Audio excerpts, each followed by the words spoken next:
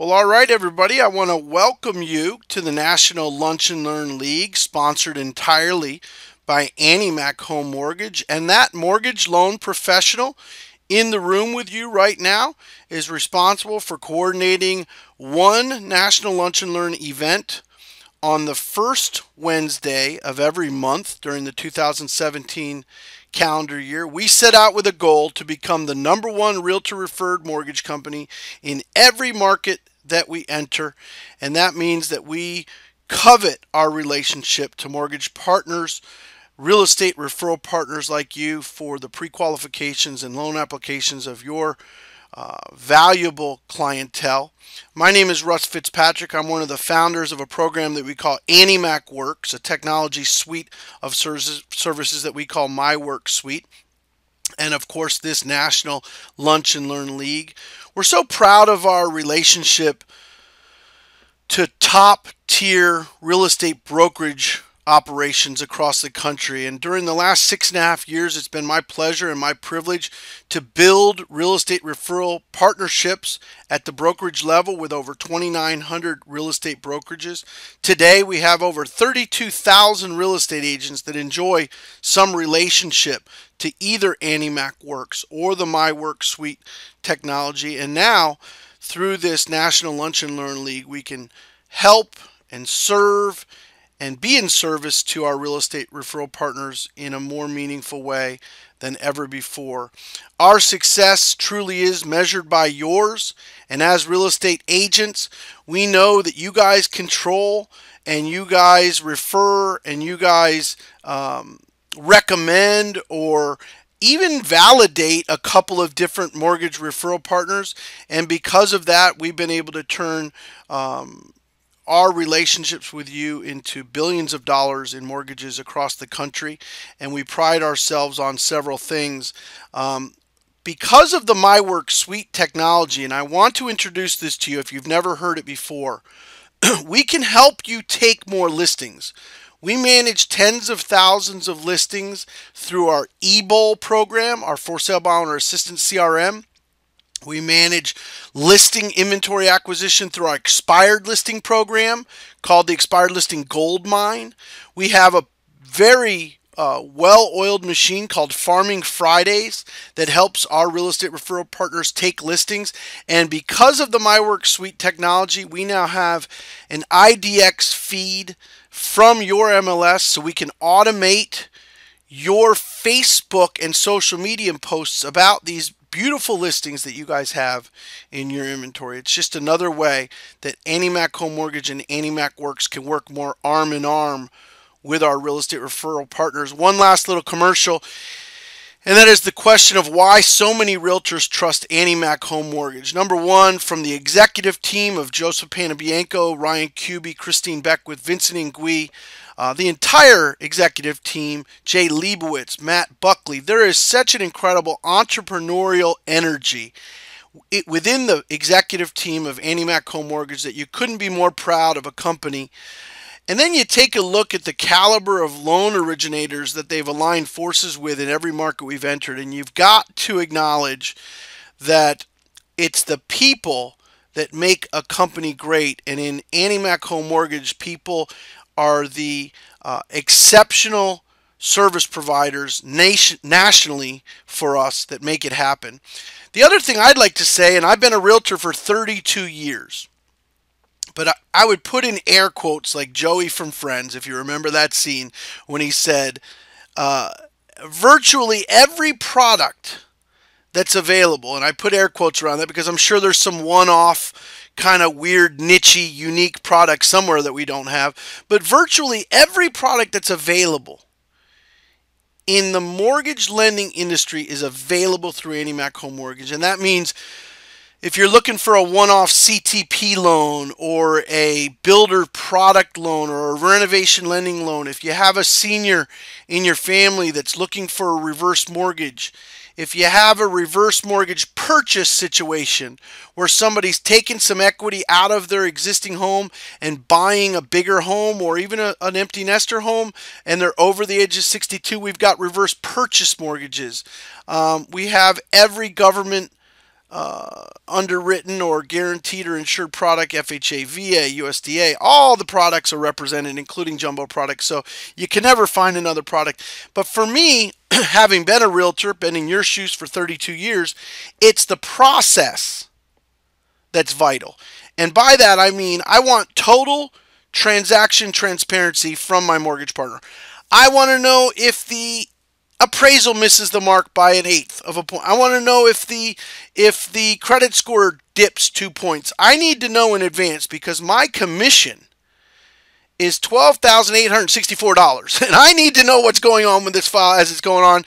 Give me a big amen if you're a realtor and you want a total transaction transparency and to know what's going on with your files. Well, today I want to tell you that you have total transaction transparency through a mortgage application that goes on your smartphone that is called the Easy Mortgage app at AnnieMac Home Mortgage. It gives you, the realtor, and your partner push notices and benchmarks whenever a transaction uh, benchmark is reached. I'm talking about if the borrower is hesitant to turn in some documentation, the day that the appraisal is ordered, the day the appraisal happens, the day the appraisal is received, verifications of employment submitted, uh, when the loan is submitted to underwriting, approved, and cleared to close. These are all the total transaction transparency portal that you as a real estate agent and your borrower have access to through the Easy Mortgage app at AnnieMac Home Mortgage. So that's my commercial, and I hopefully I didn't take up too much of your time. But if you take advantage of the mortgage app, if you take care of virtually every product that's available in the mortgage industry, and finally, if the people are trustworthy, credible, knowledgeable, and maybe even a little likable, Hopefully, we can earn your business moving forward and work together with your valuable clientele to protect those large real estate commissions and really get you earning more moving forward. The National Lunch and Learn League is a vehicle that happens on the first Wednesday of every month. And today I call the topic Take Six Listings This Year Without Cold Calling.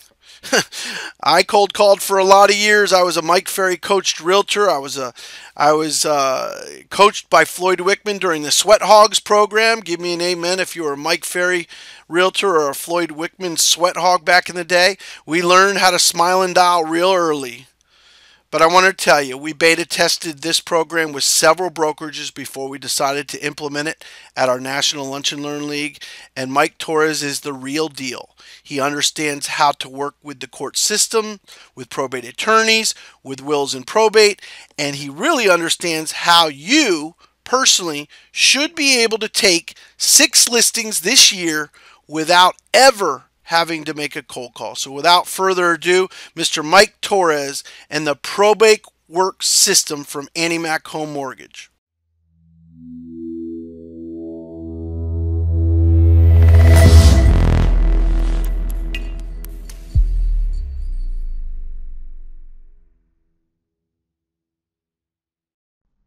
Thank, you. thank you, Russ. I really appreciate that. Uh, but let me also take a moment to not only thank you, Russ, for the invitation, but also to AnnieMac Works. You guys are doing a phenomenal job with these educational uh, lessons that you are sharing with uh, thousands and thousands of people across this country. So um, thanks again. Appreciate it. All right. Well, for all the listeners, uh, let, let me just kind of give you an idea of what I'm about to do. I'm going to share with you in a very global perspective how probate real estate works.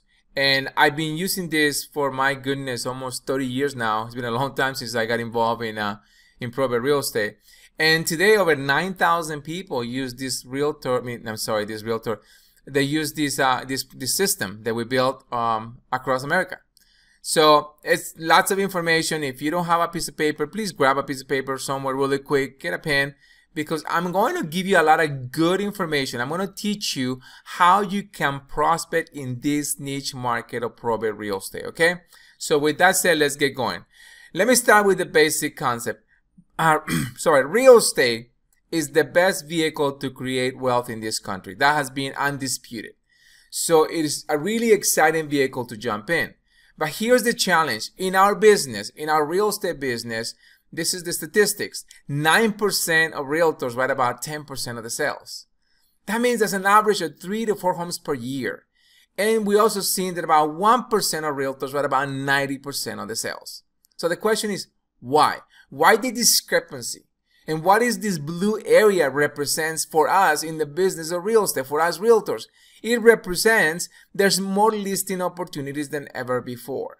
But the question is, what's holding us back? What is it? What is it that is not allowing us to go and explore these other niches in real estate or be able to be exposed to more, more uh, education? Simple words. What is it? So let me give you some of the top reasons why realtors are having a hard time generating more money. That's the truth.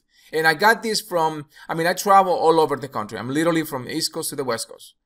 And um, as I travel and meet realtors from different parts of the country, they share different opinions about why they're struggling, why their business not moving the way they wanted to move, why their finances is kind of getting a little bit more uh, challenging for them to be able to move forward financially. And here are the five reasons. They said, well, Mike, it's difficult to locate a qualified listing opportunity. I'm like, okay, that's fair enough. Number two, there, there is no unique selling proposition to differentiate yourself from the crowd. Three, we need access to the tools creating today's new top producers. Four, difficult to be located by a seller due to the high competition in the marketplace. And ladies and gentlemen, that is very true. We have a very competitive industry. And the last one, which I said, the real estate market is totally unpredictable. Okay, so I did a little bit of research. But before I move into this chart that I want to show you, let me share with you what I'm going to emphasize today in our one hour plus uh, presentation. Excuse me. So I'm going to emphasize my education today in how to find the qualified listing opportunity and how the real estate market and this real estate market probate is very predictable. So I'm going to show you two out of the five challenges that most realtors have shared with me over time. So let's jump in.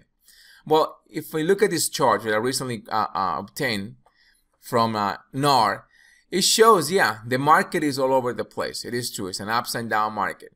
So there's no, you know, if you look at the market as a whole, it's very hard to predict what's coming next.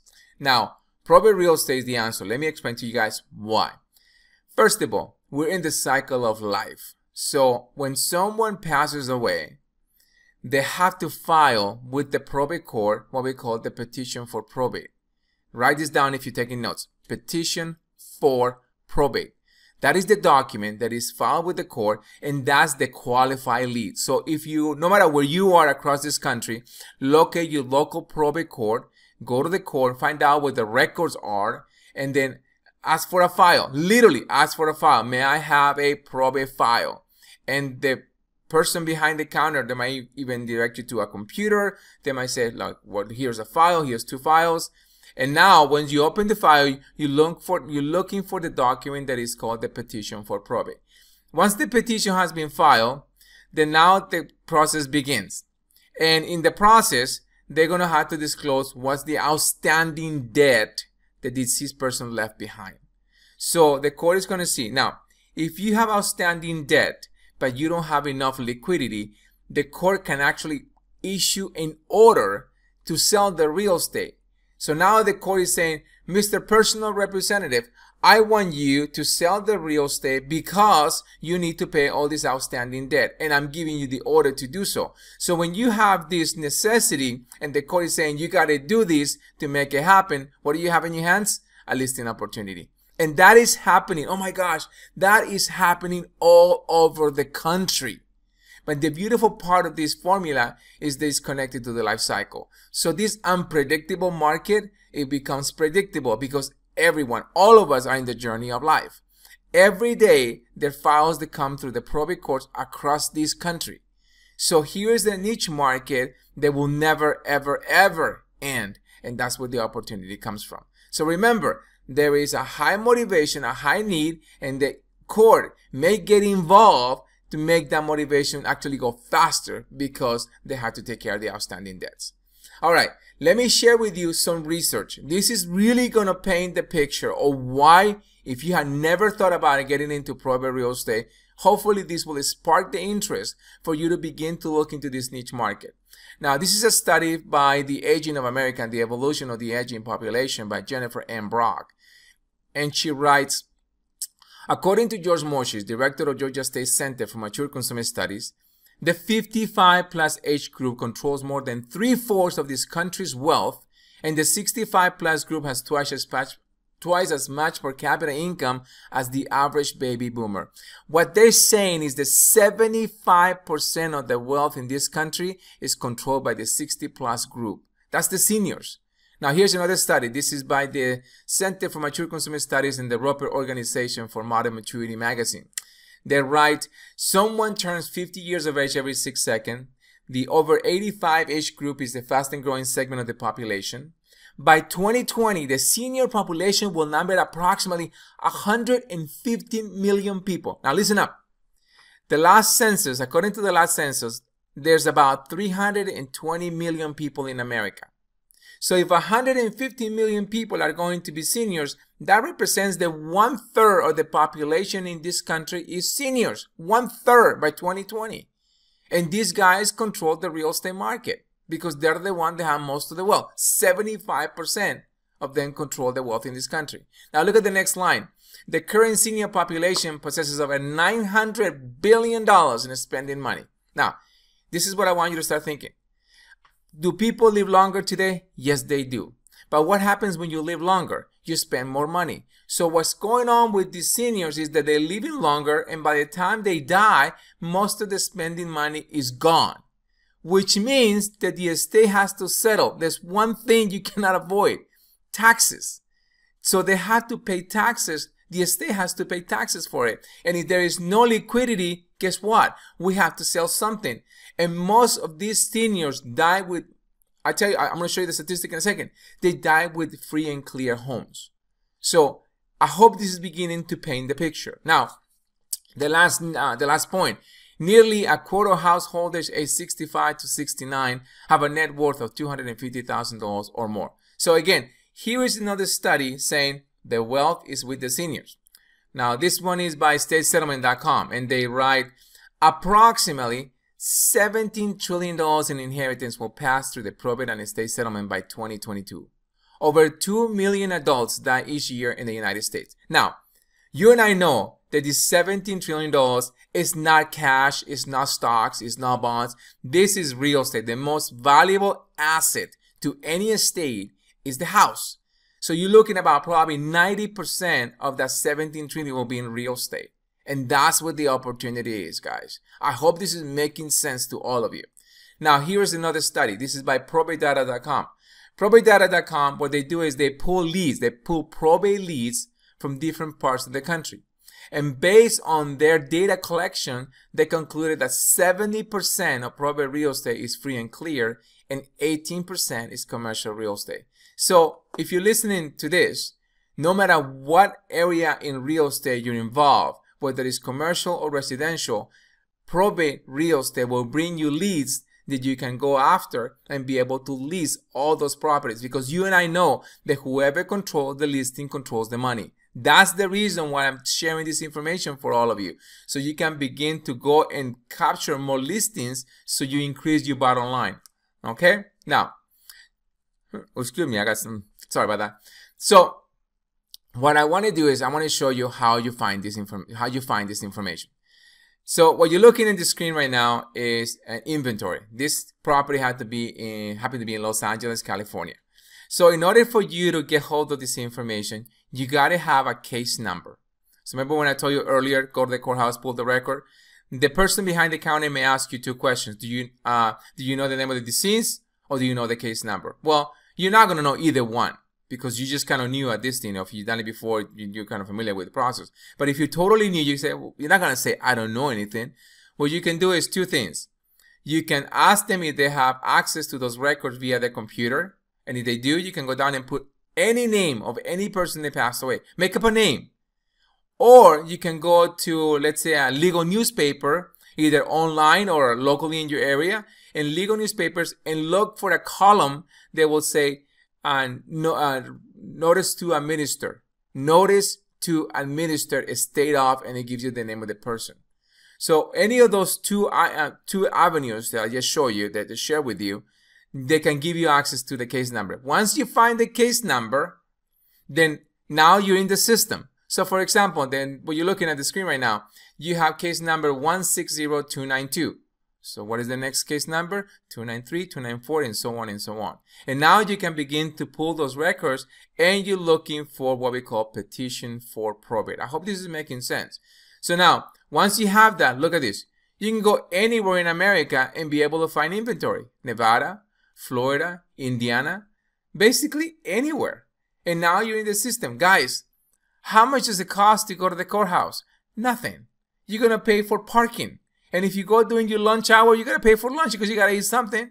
But now you, you, you enter into a world where you have endless leads and they're ready for you. And they are free. It doesn't cost anything to look at these records. So it's a really beautiful niche and it's full of opportunities in there. All right, so let me give you an idea what probate properties look like. Usually the probate property, the person had lived in the house for the last 20, 25 years before they pass away. The house, they can't keep up with the property, so they need these properties need some work.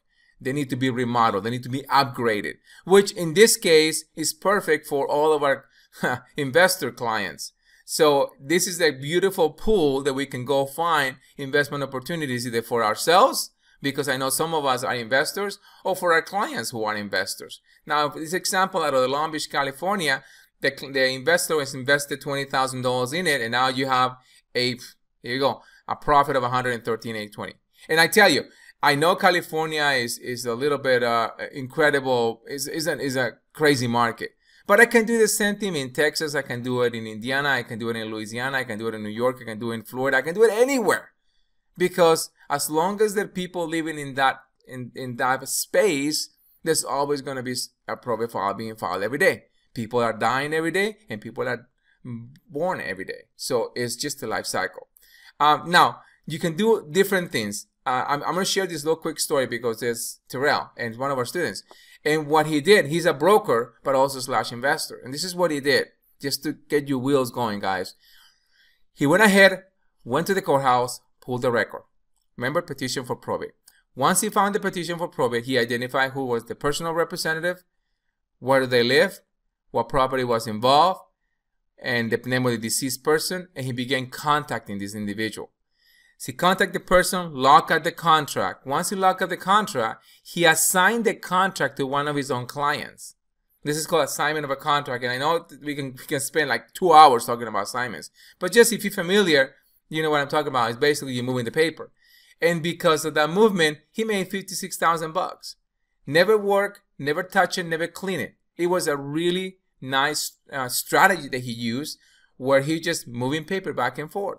So this niche market can give you so many different opportunities for you or for your investor clients. It's a beautiful niche. All right. So there are two things that we always looking. I'm always looking for equity and motivated sellers. I want to work with equity. I don't want to go work in a upside down. I don't want any more short sales. I want something. I want my traditional listing. I want equity in the property, and I want to know. I want to get hold of people who are ready to move, so I can close that and put the listing on the market. Now, between 1946 and 1964, 78.2 million people, people were born. We're talking about the baby boomer generation. Now, this is when it gets really interesting. The baby boomer generation today is somewhere between mid 50s to mid 60s. These are the people that captured the majority of the wealth in this country. These baby boomers were the offspring of the people that went through the Great Depression. And they were raised with only one mindset. You save money, you buy your house, and you invest in real estate. These kids were, from the beginning, real estate is the safest investment you can ever make. And that's what they've done all their lives. So today, the baby boomer owns property. They're the investors of today. These guys own three, four, four, five different units or, pro- uh, or houses, for example. But here's the thing. These guys don't spend the money. These guys, every time that they save, they invested in something. So you have your average baby boomer drives a four to five year old car, is paid for, and they drive to their, their investments. They, they keep an eye on their investments. They're maintaining their investments, but they have no money. This is what the baby boomers always saying, I'm broke, I have no money. It's not that they don't have any money, it's that they are cash poor. This is an asset rich, cash poor generation. So your equity is, is tied up with these people. That's where the equity is located. I hope this is making sense. Now, This is another very interesting study by the U.S. Bureau of the Census. And I want to make a point here. Look at the dotted line.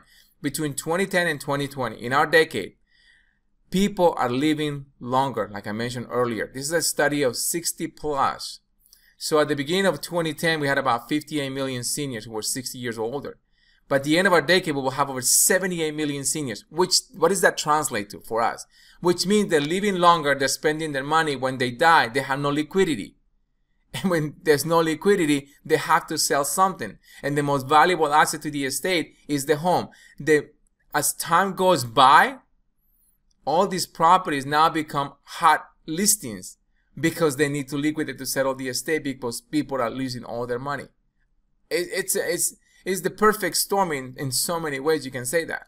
Now, a lot of you guys are thinking, well, and, and as I, as I teach people, they say, well, Mike, uh, Mm, in my neighborhood, I, in my farm area, we, you know, we're dealing with very wealthy individuals and they don't have to go through the probate process. Well, let me explain.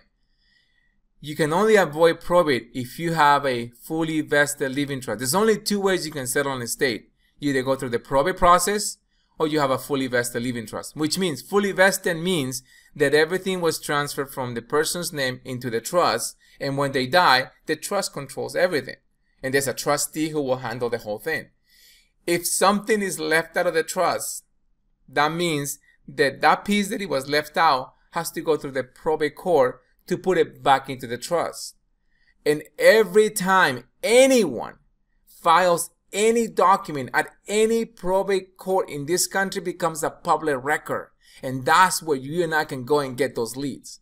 So statistically, only 5% of Americans have a fully vested trust, which means only 5% of the people can die and avoid probate completely because everything was done in. And you're probably thinking, but wait, hold on.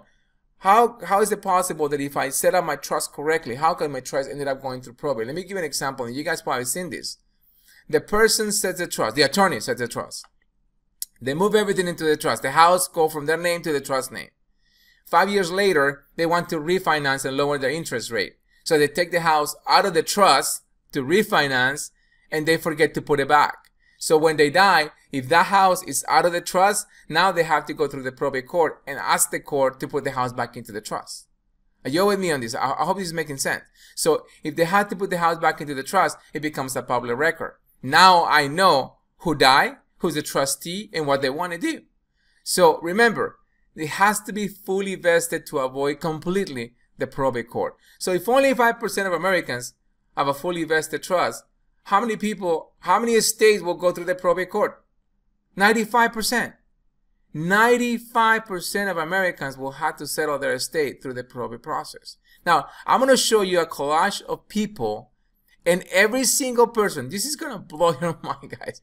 Every single person in that collage their estate went through the probate court. Let's see if you recognize some of their faces. Look at that. Let's see. Uh, let me go from left to right.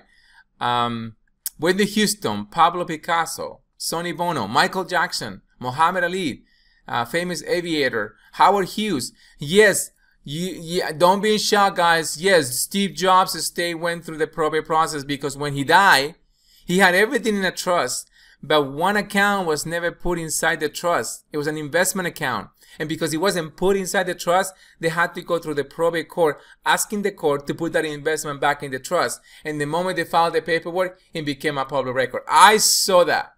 Personally, I saw a copy of his petition for probate. It was crazy. And then look at that. Very wealthy man, very intelligent man. And right below James Gandolfini, you have uh, the uh, Heath Ledger, which was Batman, if you guys. Oh, the Joker. I'm sorry, he played the Joker. Uh, top hat guy is J.P. Morgan. Next him is uh, Charles Schwab, Roy Disney, Paul Walker. Right below Paul Walker is uh, famous painter Thomas Kinkade. Uh, and then you have Marilyn Monroe, yeah, Natalie Cole, Anna Nicole Smith, Amy Winehouse, Robin Williams. Yes, he had a fully vested trust. Everything was done correctly. But now the wife and the children couldn't get along in terms of the real estate. So they had to go through the probate court for the court to settle that dispute. And guess what? That Napa home up in Northern California eventually sold for, I think it was like $22 million. So wouldn't you have to love to have that listing? And then you have uh, uh, Seymour, You have uh, Roy Disney, and the last guy who, very famous guy who recently passed, is Prince. So here is a group of individuals who were brilliant, wealthy, but yet they were not ready. Very few people are completely ready in case something were to happen to them. Uh, in, in our society, we don't talk about death. We, we, we, we do, I always tell people, yeah, we do earthquake drills, we do fire drills, we do all kinds of drills, but we never do the drill in case something were to happen to us. What happens? So this is why we have so many, thousands upon thousands upon thousands of people going through probate every single day in this country. Every single day. And this is across America. Thousands, not just thousand, thousands of people, thousands of, uh, uh, of states get filed every day. All right, let's continue. So let's talk about the person who's going to be in charge of the estate. Now, this individual is known as the personal representative. They're also known as executors or administrators. Okay, let me explain to you why a person will be called an executor versus an administrator. An executor means that there was a will on record.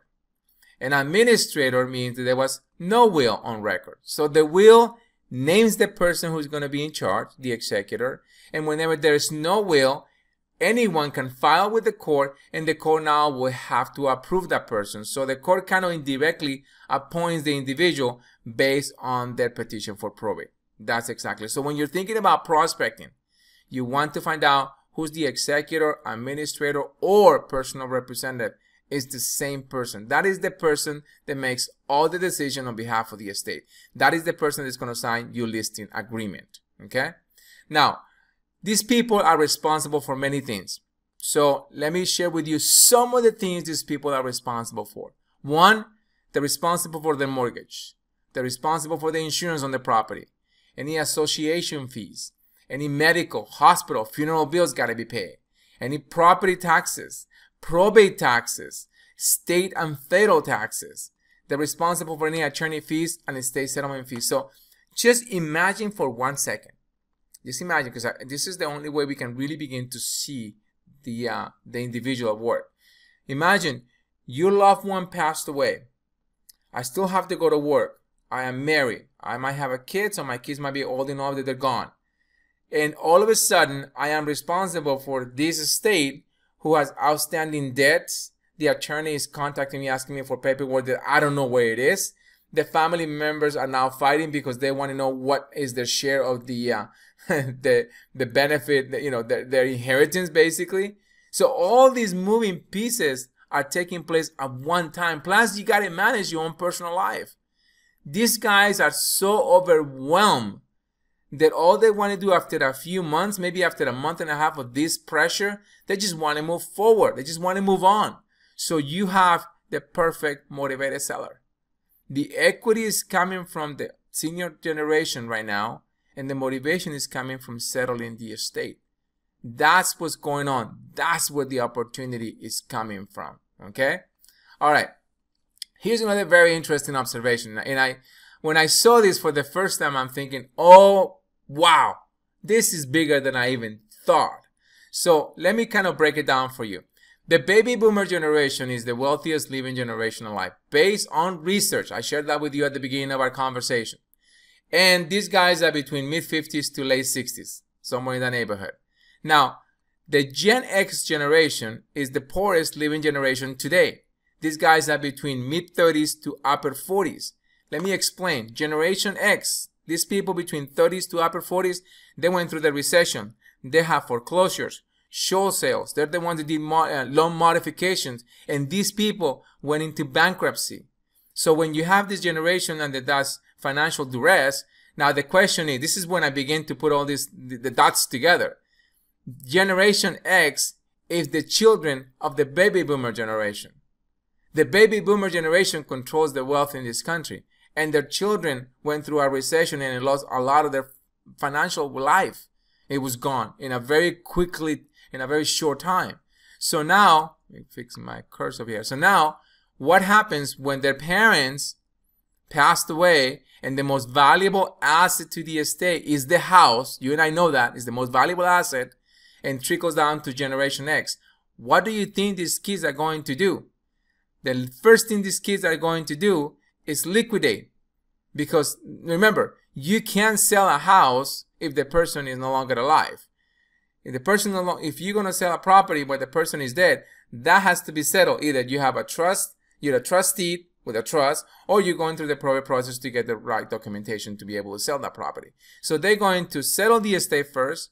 As they settle the estate, they're going to take care of all this outstanding debt. And now at the end, they're going to distribute the inheritance. And that's how these people are going to get the, the money to get back on their feet or become homeowners again. So when you're looking at the dynamic of what is happening, you're going to have multiple, uh, multiple commission checks opportunity here. Let me break it down for you.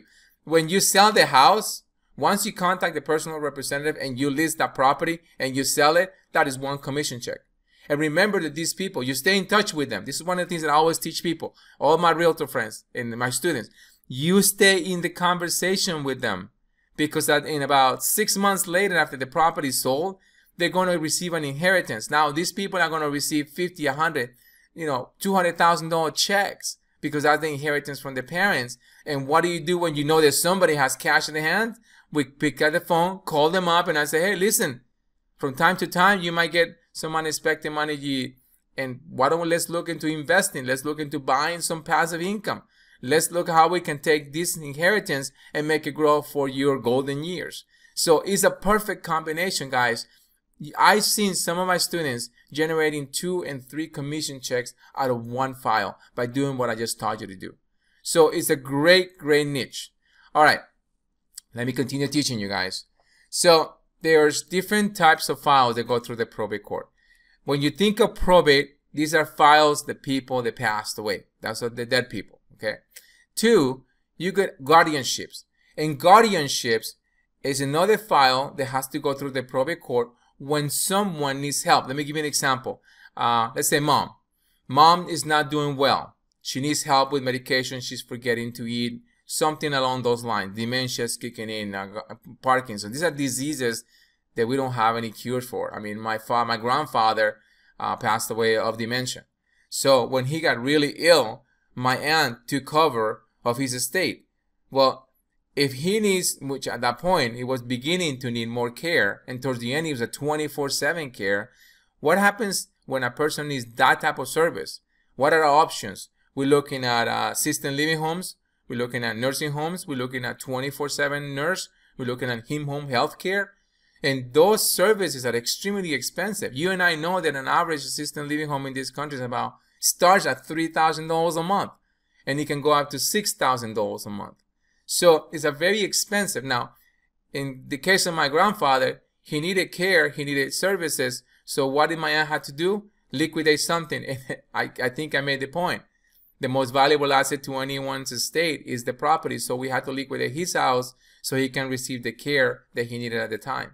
That is happening all across this country because our generation, our people are getting older. This is why we see so many assisted living homes popping up everywhere. Uh, nursing homes popping up. In-home health care is a booming industry. So in order for them to provide this care, they're liquidating and someone is taking over their estate and that happens through the probate court. So when you think of probate, probate is a giant niche. It's beyond people that passed away. It's people who need care and they cannot make those decisions themselves. And the last one, uh, you know, the last one is called living trust. Now, the reason why we, uh, like I said, living trust go through the probate court is because something was left out. And when I see living trust as a file, the majority of time I know is the house. Is the house that was taken out. They did something with it and they never put it back in. So that's when I see living trust going at the pro to the probate court. Those are pretty good leads. So if you're thinking about net, you know, start getting into this niche market, if you're thinking about, you know, this is a vehicle that I can use to generate more listings, probate is huge. You can literally spend an entire career just dealing with probate only. You can, and, and I think uh, at this point in time, you can spend a big chunk of your career just dealing with guardianship only, especially adults because they're the ones that need help. Uh, living trust, it's a small, you know, it, it, comes through it, but between probate and guardianship, you'll be busy until the day you retire. This is what I love about this niche market, guys. This is recession proof. So if you're looking for something different, if you're looking for a vehicle to generate more qualified leads, this is what I was talking about. Qualified leads. This is it. And so very few people are applying this. This is what I, I call a shadow market. And right now, the entire country is waking up to see what else is out there. What other vehicles can I use in my real estate business? What can I add to my current prospecting program? So I'm not saying drop everything you're doing. I'm saying is take this niche and add it to what you're currently doing. And that's what our students are doing. They're going like, let me add this into my business and the business grow because of this. And I've seen realtors turning this into a full-time department. I've seen some broker houses where they have a probate department where they have two or three uh, junior brokers or just realtors out there just specializing in this. Become the probate realtor in your community and you'll never run out of business. Okay? All right. There's certain documents that are extremely important. Let me share those with you. The first one is called petition for probate. The petition for probate is the first document that gets filed with the court. Now, once the court gets that petition, the court will review the paperwork and then the court will issue the order. And the order is basically an answer for the petition. So the next document that gets issued, it becomes orders for probate. At the beginning of the process, during the petition phase, the person who wants to become the executor or administrator does not have any legal powers. They become legally in charge of the estate the moment that the orders are issued by the court. Let me repeat that. They have no legal powers until they receive the orders from the court. Once they have the orders, now they can begin making decisions on behalf of the estate. Now they can list the property for sale. Okay. Now, once they get the orders, there's one more document they need to close the real estate transaction, the real estate sale. It's called letters of administration. This document is issued by the court. So once the orders have given, then the next thing is they can list the property, they can open, open, you know, go to the attorney's office, go to the escrow offices, you know, title, whoever, however is being handled in your state, and then they, they will wait until they receive the letters to, to close the whole, the whole transaction. So three basic documents, petition for probate, which is your lead, orders for probate, which make them legal, letters of administration will close the deal. Okay? Now, from petition to order, this is a national average. Let me repeat this, national average. It takes about 30 to 40 days. From orders to letters, it takes another 30 to 40 days. So if you begin prospecting and you go to the courthouse and you pull brand new leads, remember, they don't have any legal powers. So if you're prospecting these new people, probably 99.999% of them, they'll tell you, don't call me again. They hang up on you. You're an ambulance chaser. You have no heart. Don't ask for the business because it will not work. They just started the process. So if you call in someone within the first 30 days from filing, is about building the relationship. You know, hi, my name is blank. I'm sorry for the loss of your loved one. Just want to extend my services. Is there any question you have? How can I be of service to you? Is building that relationship. And that's what you want to do. Once they get the orders, they've been in the process for about a month. So now if they want to move forward with selling the property, now you can talk about market analysis. You can talk about how we can stage it. What can we do? you can talk about what's the potential of this piece of real estate and how you're going to be able to get top dollar for that. And now they can sign the listing agreement. Okay. I hope this is making sense. There's a lot of information and I don't have too much time. So I want to get, be concise and to the point, but I hope you're getting some ideas and don't worry guys. At the end, I'm, um, uh, yeah, I'm to do it. I'm to give you access to an ebook that I wrote and it basically has this information plus much more. I mean, the ebook is really packed with knowledge. It's, that's what I'm. Everyone is gonna get one. Okay, Russ. So I'm gonna do that for everybody. But I'll tell you where to get it at, at the end. All right. Let's go to the next light and let's keep going. Now, there are two types of administration, independent versus dependent. Let me explain. It's really simple. An independent administration, it means that the personal representative, executive, or administrator can move forward in the decision making without any court supervision. So in other words, um, they, they can sell the house. They don't have to tell the court what they're doing, what they're selling. In a dependent administration, they can still make decisions, but now those decisions has to be supervised by the court, which in some parts of the country, for example, if they're selling the house, they have to tell the court the house is sold. Can you give the blessings and approve this contract so we can close the deal? In some courthouses across the country, they do that. It's called a supervised sale. Okay. But that's, you don't really need, you know, this is more from an educational perspective. In case you have a listing that the court has to approve, you know that it's a dependent administration. Independent administration, then you just do it without, it's like, it's another regular sale. And I will say about 70% of probate real estate are independent administrations. So it's, it's, it's easy. And, and I tell you, don't worry about whether it's independent or dependent. Get the listing. You get the listing, you close the transaction, you get paid. And that's the bottom line. You get paid. Okay? Now, in any business, whether it's real estate, whether it's uh, you know cars or computers, partnerships is what makes our business grow. So I'm going to give you some ideas of who will be the ideal partner to your probate business because the partners are going to help you generate more listings. So the first person that I want you to build a partnership with will be attorneys. Attorneys have the hand on those files all day long. So how do you build a relationship with an attorney? You steer business to them and they'll reciprocate by giving you business back. But you have to be the moving part. You have to be the one that's got to start the conversation.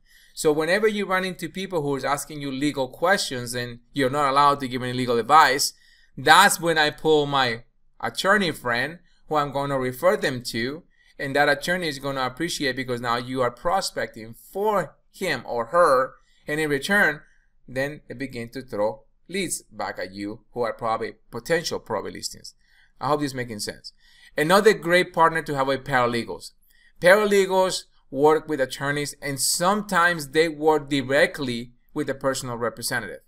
So paralegals are fantastic leads, fantastic partners to generate leads from us. Uh, CPAs, financial planners, bookkeepers, outstanding, definitely. Because when a person passes away, the estate has to file the uh, tax forms. So they go to CPAs or bookkeepers or financial planners to help them with the tax return uh, as they settle the estate. So those are good, you know, good leads. Another one, charitable organizations. When someone passes away, and they like to donate things to organizations. I've seen houses being donated to church, being donated to the American Cancer Society. Wealthy people, and by the way, wealthy people does not equal living trust. Remember, remember the collage I gave you? Wealthy people means equals they die just like the poor people. So, but sometimes they have wills, and when they do have wills, they donate real estate to them. So, contacting a charitable organization and letting them know that you can handle probate sales, uh, estate sales, you know, trustee sales, all those things. Because the moment they receive a piece of property, they want to liquidate so they can have the cash available so they can continue whatever their mission is. And the last one, which oh my gosh, you gotta you gotta build a relationship with these people. Assisted living communities.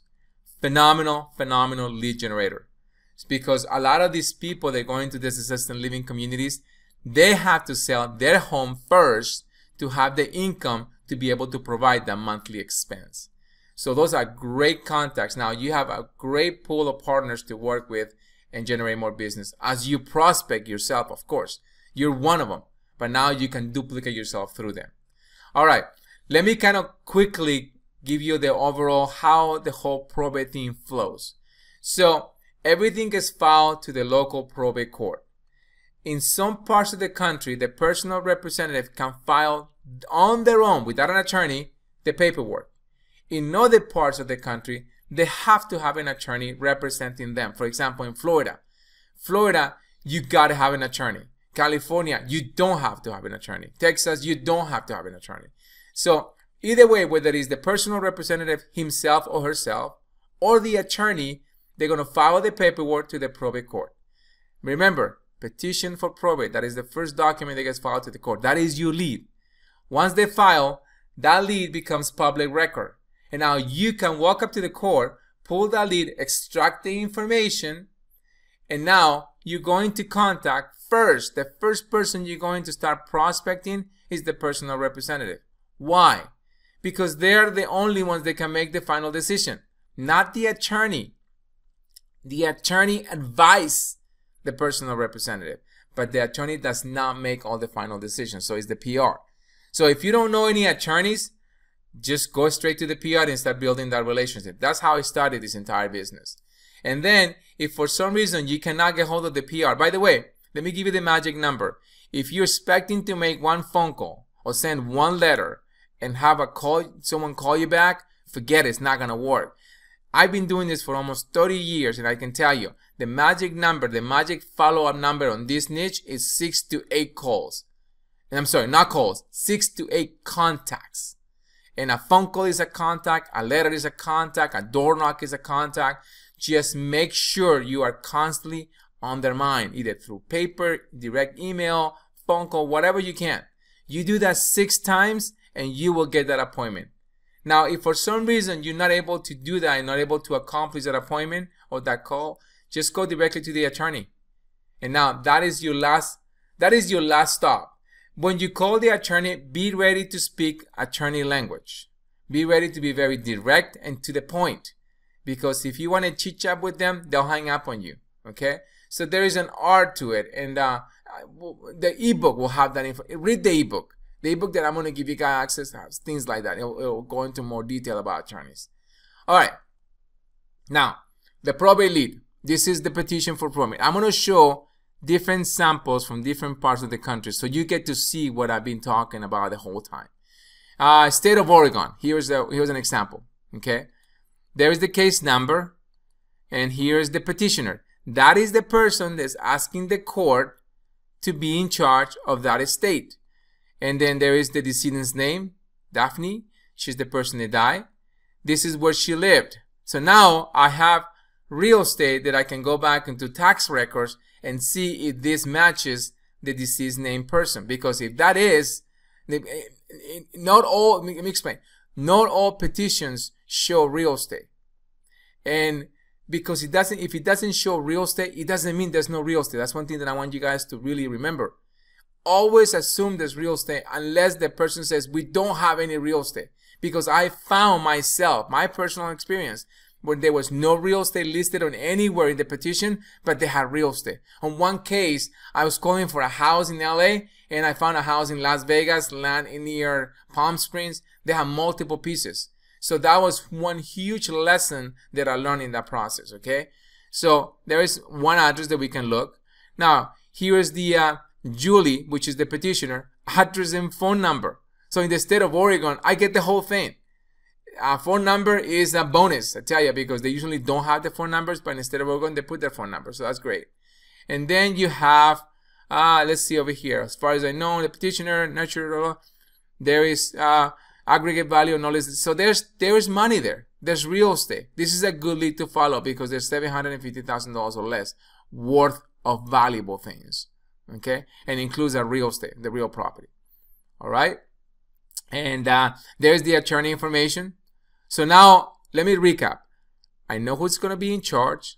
I have the, her address, phone number. I know who died. I know I have an address, which I need to go down and do a little digging to find out that's, that that address matches. And I know the attorney's information. That is what I need to go prospecting. That is your lead. This is what I was telling you. It's called petition for probate. All right, this was California. Let's go over this real quick. Attorney's information. This is the person who died. This is the case number. This is the person who is petitioning to become the executor. And there is the address of the person that died. This is street address, city and county, decedent's residence at time of death. So there's an address. And on the next page, gross fair market value of real property, 700,000. So I know there's real estate. The house is worth 700 grand. So this is a great lead so far. And then this is Ellen Carroll's address. No phone number. So I'll have to do a bit more creative to be able to find the phone number. But there is Ellen's information. Okay? So I hope this is making, you know, making sense. Now, this is from the state of Florida. This is the case number, the person that died, the petitioner address. This is the petitioner's attorney. So there's, there's it's on the first page, is right there. And then it says decedent's and whose last known address. There is the address so now I know there's real estate in this specific case. And uh, they tell me that it's value at 55,000. So there's real estate. There's the money. And there is the attorney's information. So it's really easy, guys. This is pretty easy. Now, state of Nevada. Yeah, let me show you. There's the information for the uh, attorney, case number, person who died. This is the, oh, the attorney is going to become the personal representative, which is okay. And there is the property, one property, $95,000. Uh, there's a lien, a no mortgage. There's a HELOC on it for 40000 So I know there's real estate here.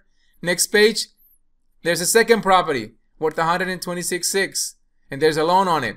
And look at all the outstanding debt. Think about it. The two properties have an outstanding mortgage and there's credit card debt worth almost $30,000. What do you think is going to happen? This is why I love this niche market. This is a done deal. This is a hot, hot, hot lead. This is something that I'll get on it right away and start talking to the attorney. And there's the attorney's information and phone number. All right. So I went through a lot, a lot of information very, very quickly. And uh, I hope you guys were able to capture some of the good info here, some of the, the, the education I was sharing with you. But let me leave you with this. As the population ages, the next real estate boom will be at the probate courthouse. And that is true. This is the next real estate boom in this country because you know the largest living people are the elderly. We have a huge generation. So here's an opportunity for us realtors to come and help these individuals, help the personal representatives, help them liquidate the estate and really make a difference. And along the and along the journey, guys, we are going to make a ton of money because there's so much real estate that will have to go through the probate court. And, and I hope you got the picture. But like I said, I told you earlier, I'm going to give you access to an ebook. Okay. This ebook is like 75 pages. It's a phenomenal book. Lots of information similar to what I shared with you today. So to get your ebook, just uh, go to this website, getprobatetraining.com and it's just filling the information. It's going to download the ebook right away so you can begin reading more, learning more about it. But if you have any questions specifically that, that you're wondering, feel free to call. Uh, you can speak to one of enrollment advisors and they can tell you, you know, they can give you the answer and whatever questions you have. Just, uh, you know, call the 562-421-3539. So 562-421-3539 and uh, they will help you out. So I hope it was informative. I hope uh, I was able to do a good job in teaching you, getting you exposed to this. And again, I want to thank AnnieMac Works and Russ for allowing me to do this. And again, thank you so much. You guys have a great day. Uh, just go ahead and download the ebook or give us a call and then we'll help you out. Okay. Thank you so much, everyone.